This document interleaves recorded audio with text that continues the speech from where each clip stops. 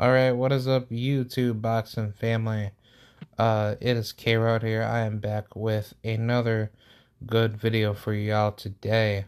Um, I wanted to talk about um Miss Franchon Crews versus Aline Cederroos and why that is one of the biggest fights in women's boxing that no one's not talking about.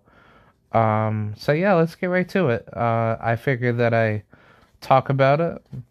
You know, I have like a little conversation about female boxing, and yeah, let's get right to it.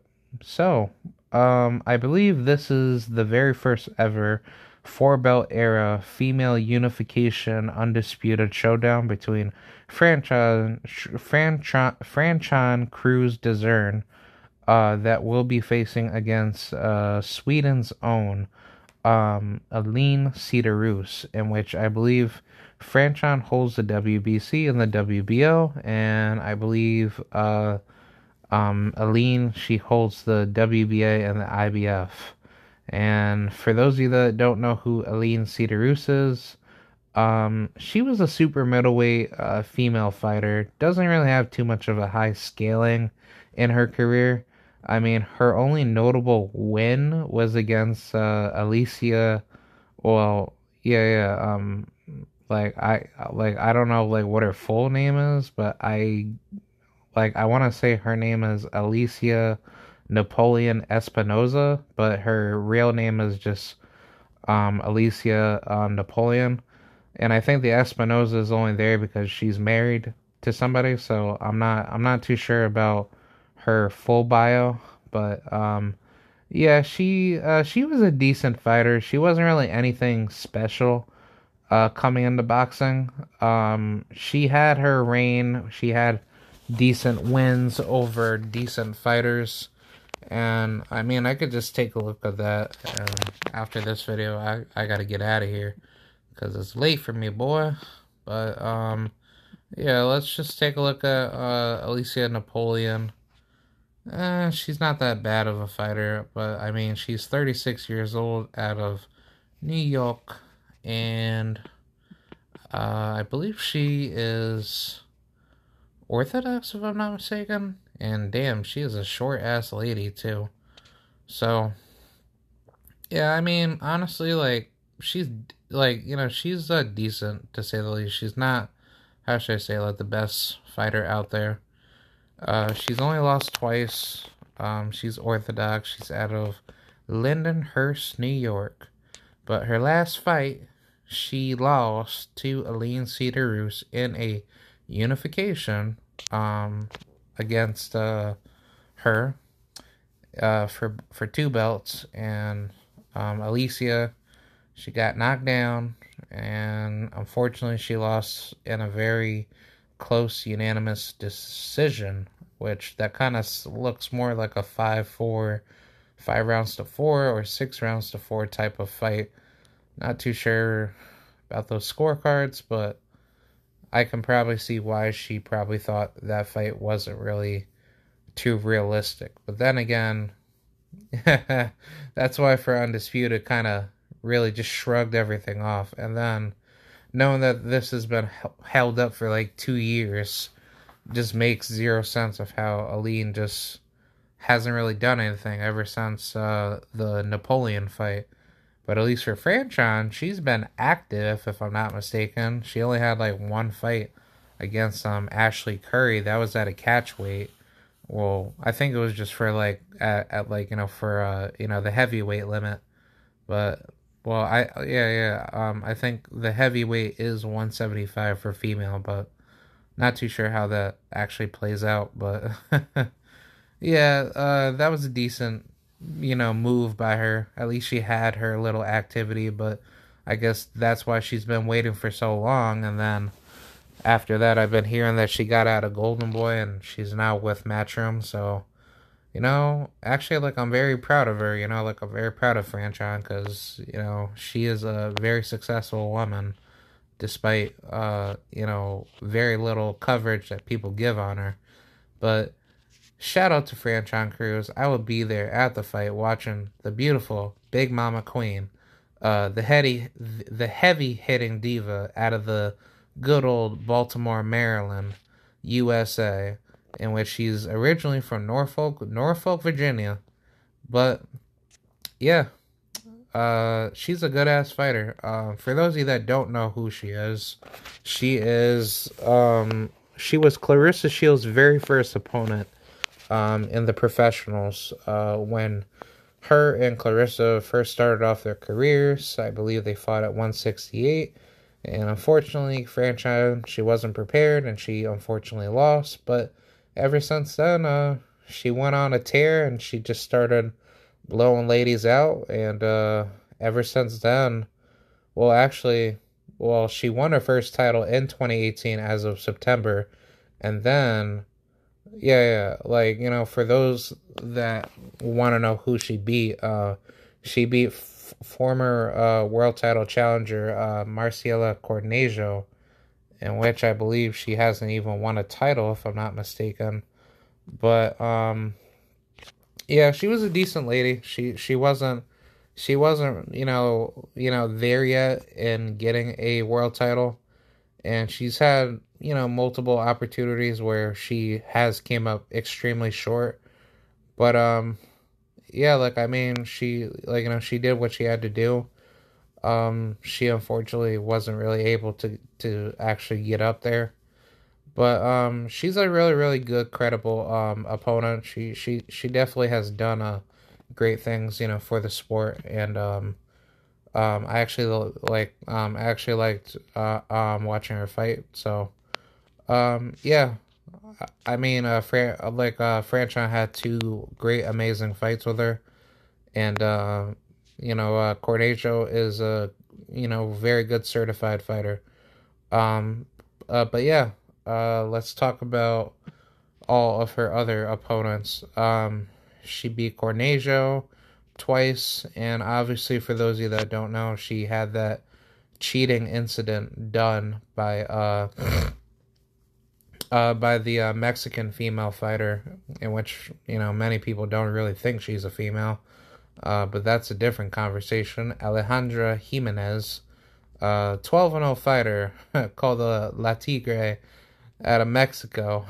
and funny enough that this lady has never returned back to the ring ever since she got caught with that BS. But yeah, um, good enough that Franchon she managed to keep her belt because um, Jimenez did not arguably win that fight. Uh, people thought that Franchon had won that fight, including myself too, because I thought you know, that the fight was close, but I wasn't thinking, you know, Jimenez was gonna really do much in that fight to actually win. So, you know, Franchon, she like you know she tried her best and she tried her hardest, and that's something that I can definitely um respect out of her because she is a very um strong, you know, hardworking woman. But um yeah, Jimenez, she definitely brought Franchon out of her like out of her uh, comfort zone. Um, she was fighting a little bit dirty in that fight, so I mean, she she was trying to smother her weight on her and try to, you know, basically do some old school dirty tactics. But Franchon, she pulled she pulled through and she you know she did what she had to do, and I was happy that the decision got overturned because uh, Franchon deserved to not lose that fight. She, uh, she deserved to win and uh like um i i personally think that um honestly um if uh Jimenez had won that fight, um, you know damn well that the WBC would have easily corrupted uh, Jimenez to try to cheat in uh, the like you know obviously for um, undisputed against um, you know um, Aline Cedar So I just don't see how the WBC thought that you know that was okay to try to screw over Franchon, knowing that you know she wouldn't speak up, and you know yet she did. So I definitely credit Franchon and everything that was uh you know like uh, basically um legally uh, mitigated to get the situation fixed because um, if Franchon did not have any justice for this, uh, this would be like basically similar to a Deontay Wilder Tyson Fury situation. So um, I'm very happy that Franchon she you know she's doing well and uh, I can't wait to see her come April 30th. So yep, like we got 17 days away, but um, yeah, I mean I don't understand why not a lot of people really talk about this, uh, you know, undisputed battle because, you know, for the Amanda Serrano Katie Taylor fight card, there will be two undisputed, um, you know, like um, like two undisputed world champions, you know, f- you know, being crowned, or one will possibly win if Katie Taylor wins, she will keep her crown, or if Amanda Serrano beats the living shit out of her and she wins, and she wins over the entire crowd along with Franchon Crews, then don't be surprised when America and Puerto Rico will be taking them belts home. But that's what I'm saying. This is a very good, memorable night for for women's boxing. But on top of that, this is this is by far the most you know the most historic night, especially on my birthday. Um, to be the most memorable night, you know, of the generation that we live for the sport of boxing in the you know in the um entire universe. So um yeah like i mean fran like like uh franchon crews from a stylistic point if you guys want to know more about her um i would view her more to be a boxer uh very pure boxer. Um people do say she can hit and i think that is true. Um i don't think her power is as big uh, as people try to make it out to be. I mean, she is definitely a, a high level um, volume style puncher. She could definitely hurt you when she has the opportunity to hurt you, but I think she chooses more to box. And if she wants to mix it up with you, she easily mixes it up with you. But in her past couple of fights, uh, excluding from the Jimenez fight, I think a lot of her style is more favored to the inside. And I mean, she doesn't have to utilize her outside boxing ability because she's able to use her uh, size and use her pressure to win the fights a lot more decisively. So I definitely give Franchon a lot of credit because she was, if I'm not mistaken, a high level amateur in which I don't use like the amateurs as the excuse of being good in the pros, but the you know the level of skill set that she's that she's been um around, especially a lot of high level ladies like Claressa, um, Christina Cruz, that is another pro, and Virginia Futch, um, in which I'm not really sold on her in her professional debut, even though she got a you know a nonsensical referee stoppage over her opponent, but she's also another good high level fighter. Um, who else? I mean, she's been around everybody. Um, I think she's been around Errol Spence. She's been around Terrence Crawford, Gary Russell, um, Rashidi Ellis, Big Shot Shaw, um, Shakur Stevenson. Um, unfortunately, Mikaela Mayer. in which I don't like her because you know, you know, like it's team like Alycia Baumgardner over here, and I'm pretty sure she she's been around Alicia too, but yeah, um, you could easily tell that her level of skill set is, is you know is extremely high, because you know, but the people that she's been training with and just knowing out of the Baltimore area, even like guys like Calvin Ford and Gervonta Tank Davis, like that's you know that speaks volume for what she has done in her career. And for her to win undisputed against um Aline Cederroos in which you know don't count out Aline. She she is a decent fighter but she but she doesn't hold the you know the intangible skills to actually give Franchon any problems unless she's like coming out there like Rocky and she starts like banging big shots on Franchon and then Franchon's not able to like possibly recover. And um you know, maybe she could try to knock her out, but uh that's not going to happen because Uh, Franchon has, you know, um, like like how should I say? She has good defense. It's obviously like not the best defense. Like I would rate her defense like a good eight point five out of ten. It's good enough to keep to keep all the hard shots away from you, but she is, you know, mild mildly prone to get hit. You know, like which is perfectly fine because it's like she, you know, she still moves her head around, you know, in the fight itself. So she's not really there to get hit. She's actually there to slip a lot of punches.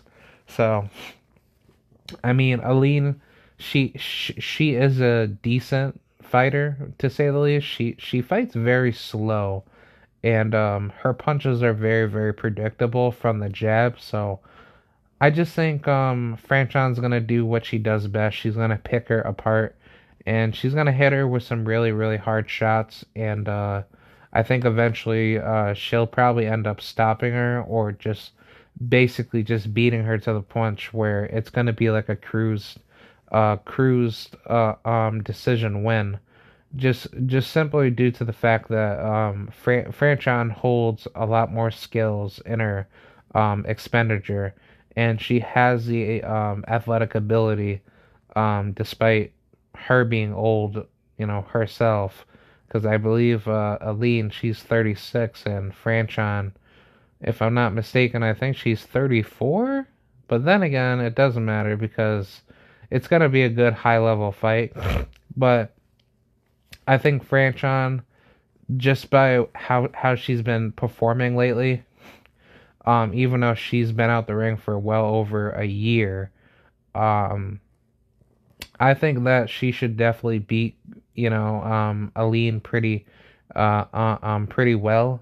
Uh, Aline doesn't really possess enough tools in the toolbox to actually handle the adjustments made by Franchon, and I think Franchon, she, you know, she's gonna end up being successful in the fight, and I think, um, you know, um, um, Aline, she's just gonna have like a hard time getting her shots off because you know, even though if I'm not mistaken, I think Aline has a height and reach advantage over her, but you know, like with her punches being so uh how should I say so slow and predictable, um I don't like like I personally don't see Franchon losing the fight because Franchon's gonna look at those deficiencies and she's gonna basically make those adjustments already to already have a stylistic advantage over her.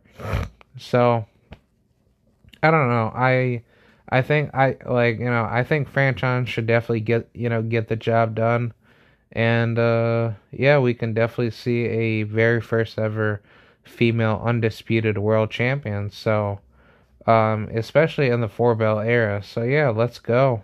Um, be sure to let me know what you guys think. Do you think Franchon Crews and um, Aline Cederroos is a good fight to watch? And if so, um, what are you looking forward to seeing out of this fight?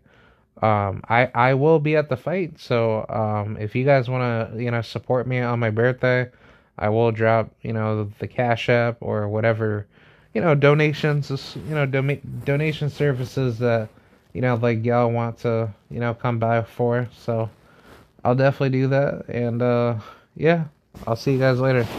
All right, peace out. Bye.